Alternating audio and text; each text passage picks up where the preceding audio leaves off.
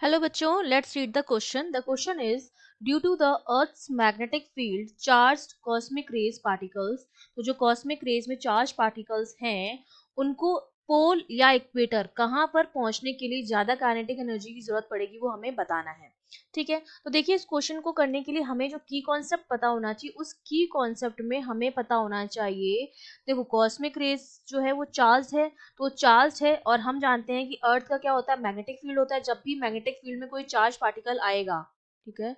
जब कोई charge particle enter करेगा इन मैग्नेटिक फ़ील्ड तो उस पर क्या लगेगा? मैग्नेटिक फोर्स लगेगा, जिसको हम लॉरेंज फोर्स भी कहते हैं और जिसकी वैल्यू जो होती है F equals to Q B into B होती है, ठीक है, जहाँ पर क्यू चार्ज है वी स्पीड है चार्ज पार्टिकल की और बी जो है, वो मैग्नेटिक फ़ील्ड इंटेंसिटी है, ठीक है? तो इतना फोर्स लगेगा।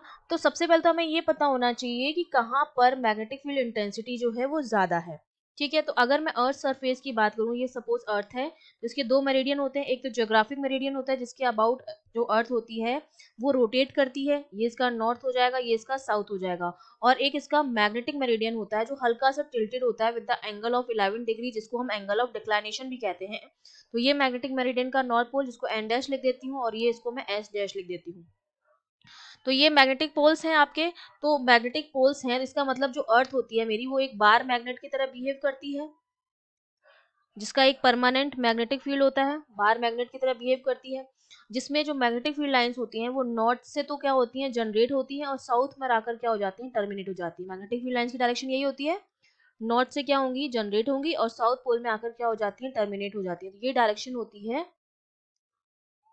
ठीक है? इस तरह से हमारी डायरेक्शन होती है। और हम जानते हैं कि जो मैग्नेटिक फ़ील्ड लाइंस की जो डायरेक्शन है, अगर मैं मैग्नेटिक फ़ील्ड लाइंस पर क्या डालूं?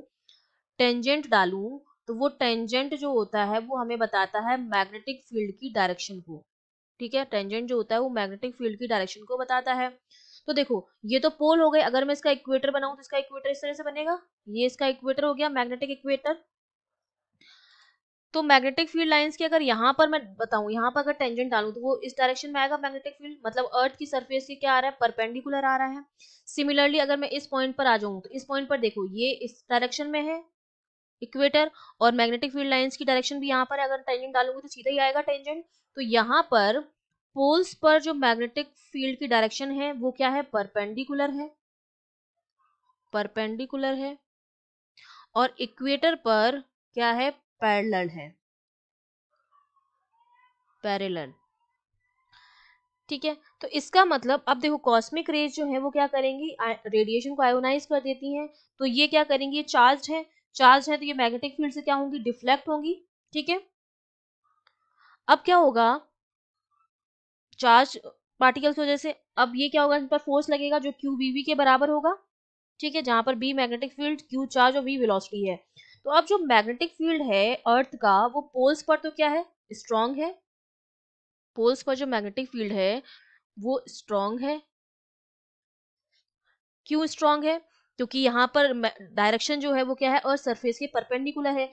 जबकि इस पर इक्वेटर पर जो है, वो लेस देन पोल्स है। Less than poles magnetic field जो है वो लेस देन पोल्स है।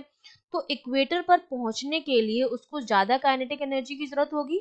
अगर रेस को, क्योंकि जब पोल्स पर मैग्नेटिक फ़ील्ड जो है वो स्ट्रांग है तो उसकी वजह से क्या होगा कि जो कॉस्मिक रेज हैं, वो इक्वेटर के दूर डिफ्लेक्ट होंगी। इन पर जो फोर्स लगेगा, उसकी वजह से ये डिफ्लेक्ट होंगी डिफ्लेक्ट अवे फ्रॉम इक्वेटर। तो अगर इन्हें इक्वेटर पर आना है, क्योंकि इन पर मैग्नेटिक फोर्स लग रहा है, जिसकी वजह से डिफ्लेक्ट हो रही है फ्रॉम इक्वेटर तो अगर इन्हें इक्वेटर पर पहुँचना है तो क्या होना चाहिए? इक्वेटर पर पहुँचने के लिए इनको ज़्यादा एनर्जी की रिक्वायर्ड होगी। Need more kinetic energy, more kinetic energy to reach equator, क्योंकि हम जानते हैं कि जो फोर्स है वो क्यू बी भी है।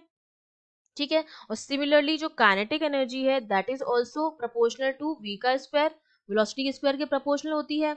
तो यहाँ से हमें इक्वेटर पर पहुँचने के लिए ज़्यादा काइनेटिक एनर्जी की ज़रूरत होगी, क्योंकि पोल्स पर जो मैग्नेटिक फ़ील्ड स्ट्रॉन्ग है, जिसकी वजह से जो फोर्स चार्ज पार्टिकल पर जो फोर्स लगता है, जिसकी वजह से ये जो कॉस्मिक रेज होती हैं, वो डिफ्लेक्ट अवे फ्रॉम इक्वेटर हो जाती हैं। तो इक्वेटर पर पहुँचने के लिए इस फोर्स के अगेंस्ट इनको कुछ एनर्जी रिक्वायर्ड होगी, जिसका मतलब इनको ज़्यादा काइनेटिक एनर्जी की ज़रूरत होगी यहाँ तक पहुँचने के लिए।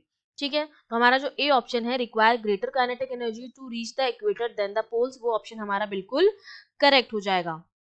I hope you understood well all the best